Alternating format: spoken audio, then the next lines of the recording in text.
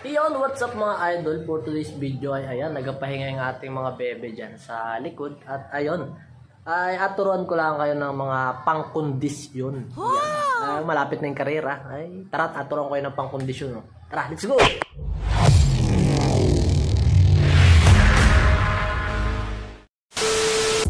Yo, what's up mga idolo? Tarat, magaluto kita na ay saging at kita naman malapit na yung karera. Kailangan natin magkondisyon. At ang luto nga ni pala natin ngayon ay ginataang saging saba. Yan, hindi yan sobrang hinog kasi yan ay medyo kalilipas lang sa pagkamalibalang. Yan ang magandang banatan.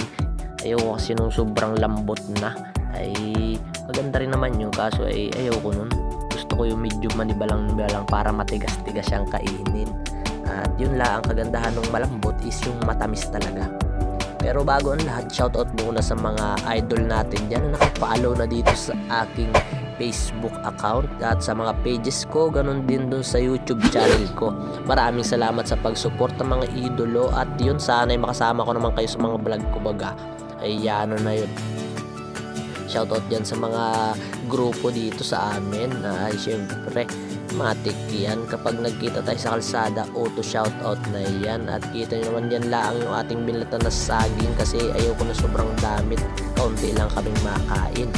At ayan pagkatapos nyan o oh, kita nyo naman yan lang yung aking niluto sa ngayon. Kasi syempre kailangan nating yung kaya lang ubusin. At ayun pagtapos nun ay kuha na tayo ng liyog para panggata. Yan pala ay para mas masarap ay mas maganda yung maraming gata na nakalagay. Yan. At sa portion ng mga idolo ay binabalatan na natin yung niyog para yun ang ating gamitin. At ito na, malaking buo nga ni paling kinuha at ito na. Abutasin na natin at abiyakin pala para makuha natin yung sabaw at yung laman. Pero bago ang lahat, syempre, matik yan atin yung sabaw uh, inumin natin yan. Pampalakas din ng tuhod yan idol. At yun pagkatapos nun ay matik na. Bakbakin na natin bakbakan pa ng iba. Yun linisan muna natin yung ating kayuran at alatira na. Yun na nakabantay ng mga alaga. Pero yan tuloy lang yan at good luck nga pala dun sa mga makarera doon sa Torrejos at sa may mga karera dyan. At yun, ito palang saging na ito mga idolo ay napakayaman sa potassium kaya tamang-tama to sa mga nag-ensayo para iwas pulikat at yun, syempre, pandagdag din ang lakas yan sa katawan. Pero yun naman mga idolo talaga is uh, nasa pag-ensayo din. Tamang pagkain, at yun, para mas maganda ang ating kondisyon ng katawan, kailangan lang talaga ng disiplina. At pagkatapos nga niyan ay yun na, tapon bao. Ayun, sabay. Ito na yung ating mga gamit. Yan. At pagkatapos nun, syempre, pipigain na natin yung ating niyog. Yan tamang piga-piga lang tayo dyan mga idolo para lumabas yung katas at mas masarap yung ating lulutuin. Yan ito yung pampasarap talaga nun ay. Kaysa naman lagain lang natin yung saging dito na tayo. Sa gata ayan paborito ko talaga yung may gata. At ayan pagkahugas natin ng saging yun diretso na natin yan hugas. At ito nga pala salamat po sa nagbigay ng saging ko na niluluto yan. Galing pa yan ng Buena Vista. Alright. At yung pagtapos nung nagdiretso na agad sa kawali ay tingin naman at kaganda ng aming kawali. Ala, ituloy. Mga idol, ano nakakondisyon na baga kayo ay kung hindi pa ay magkondisyon-kondisyon na pero samahan din ang sipag sa pagsipa. Kasi bali wala ang kondisyon ng pagkain kung wala naman kondisyon ng ating katawan or yung ensayo simulan nyo na mag-ensayo at kung kayo naman may ensayo na ay pahinga-pahinga dit mahirap din yung may sobrang ensayo. At pagkatapos nun mga idolo ay kita nyo naman lagyan naman natin ng gata. Iyon hindi na yung gata man din naman ay nung sarap nyan ah, ah. ay anong ginhawa nyan talaga mamaya. Kaligatan yan ah, ah. mas maligat pa dun sa ex mo. Ow!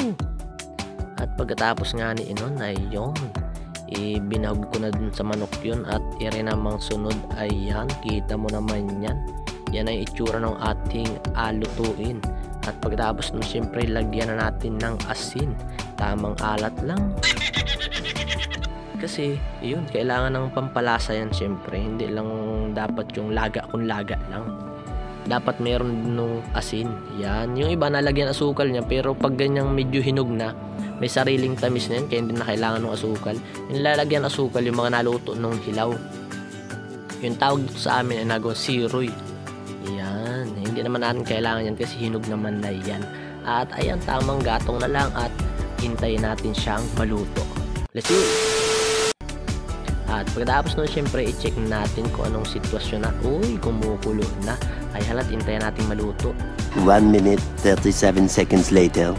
At pagkatapos nga ni Aba, rin na kita mo naman, kitang kita yung latik nung ano, gata. Ay, kasarapan na nito. Kaya walang intro-intro, tara na. Buhatan na natin agad ere. Ah, ay, kung gusto mo naman ni Reo, ay punta na agad. Parinin ng mga idol. At yun, pang merinda na natin ere. Ay, sana may ensayo na rin kayo at ako yung nag-ensayo na rin sa pagkain. Ay, ere lang muna ang ensayo ko sa ngayon medyo busy pa. Yan. Kung makalaro man, ay di makalaro. Kung hindi, ay di hindi. Good luck sa mga malaro at ayun. Sana may natutunan kayo sa aking konting video. At ayan. O baka naman gusto nyong mag-condition na dyan ay simulan na ninyo at ako'y kakain-kain lang muna din sa dampa. At yun, basta paalala ko lang mga idolo, yan, mas maganda sa ensayo ay may disiplina. At kung may disiplina ay idaan mo na rin doon sa tamang pagkain. At isa pa doon is yung ensayo. Kasi bali wala ang pagkondisyon mo ng pagkain kung wala ka namang ensayo ay wala ka ring agaw inon talaga talagang aabutin ka talaga ng hapo at pitig nun pag ganoon ay kaya dapat kailangan may proper training ka rin proper schedule ilaalagaan mo katawan mo huwag ka magpuyat at yun syempre kailangan kumain tayo sa tamang oras at yung mga tamang pagkain huwag yung mga bawal sa mga athlete. At yun lamang ang masishare ko ngayon mga idolo. Sana magustuhan nyo tong video na to. At huwag kalimutan i-like, share, subscribe nyo aking YouTube channel. Maraming salamat, guys!